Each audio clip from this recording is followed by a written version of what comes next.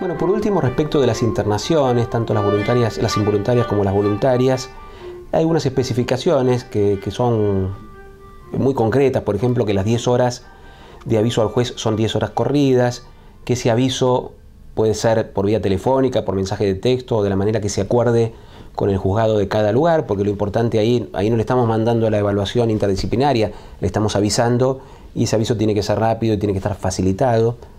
Eh, que aún dentro de una internación involuntaria debe procurarse que la persona participe de las decisiones que se toman sobre su tratamiento,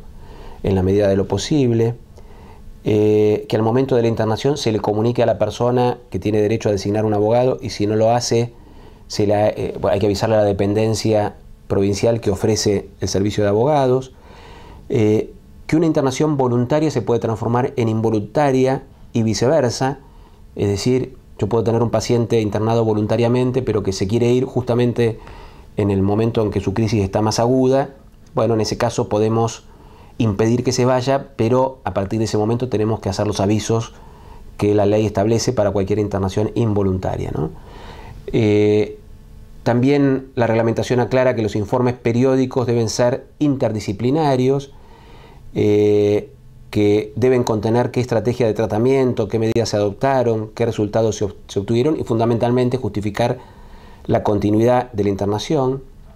que el alta también la brinda el equipo interdisciplinario, esto no lo decía la ley, pero lo, interpreta la reglamentación, así como internamos a través de una decisión interdisciplinaria, externamos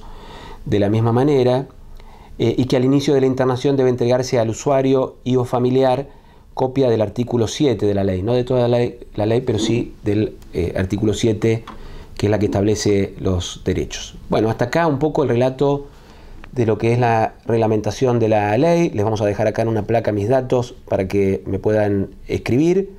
o, bueno, o podamos chatear por, por, Facebook, cualquier duda que tengan y que no puedan resolver por otra vía, no tengo ningún problema en, en que nos comuniquemos. Y lo importante, insisto, es poder visibilizar tanto a la ley como a la reglamentación como un instrumento,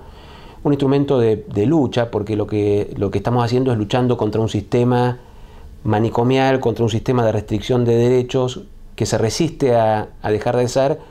porque tiene siglos de historia y cualquier eh, práctica humana con siglos de historia siempre va a resistir a los cambios y porque además hay intereses en juego. Y que entonces es importante que nosotros no nos apeguemos obsesivamente a la letra de la ley, sino que entendamos fundamentalmente su espíritu y que nos contagiemos de su espíritu, que es un espíritu de militancia, que es un espíritu de transformación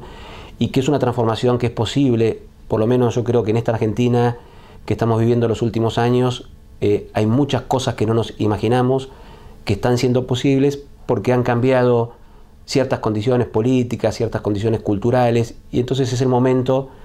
que quienes estamos trabajando en salud mental podemos aprovechar eh, para subirnos a este tren de las transformaciones y decir que, bueno, también en salud mental pudimos aprovechar estos años para dar un cambio sustantivo y dejar atrás un modelo de opresión y realmente poder construir una política sanitaria que respete los derechos humanos. Así que mucha suerte con el curso, muchas gracias de nuevo al doctor Sanguinetti y al doctor Cohen por permitirme compartir con ustedes.